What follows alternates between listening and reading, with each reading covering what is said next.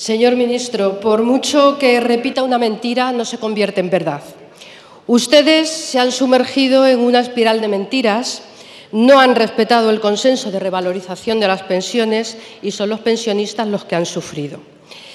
Y eso que anunciaron que no tocarían las pensiones.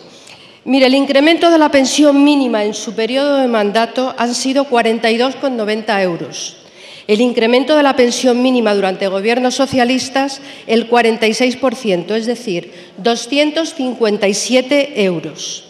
Alto y claro, señor ministro, el Partido Socialista no congeló las pensiones, revalorizó año tras año las pensiones mínimas, pasando de 484 a 742 euros.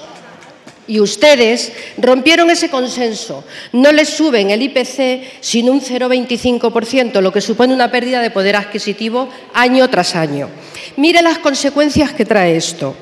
Uno de cada tres hogares españoles tiene como sustentador principal a un mayor de 65 años. Seis de cada diez reconocen que su situación y bienestar ha empeorado por las dificultades económicas por las que pasa su familia.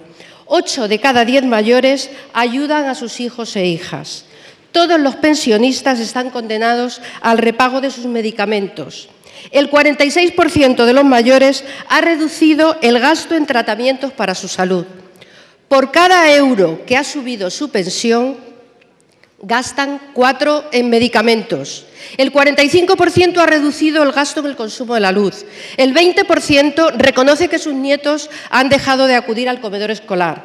Y para colmo, desmontan el sistema de atención a la dependencia cuando más lo necesitan y además les aumentan los copagos. Con este panorama, todos tienen una visión pesimista del futuro, señor ministro. Piensan que el futuro de sus nietos será incluso peor que ahora. Y ese es el balance de su gestión y no otro.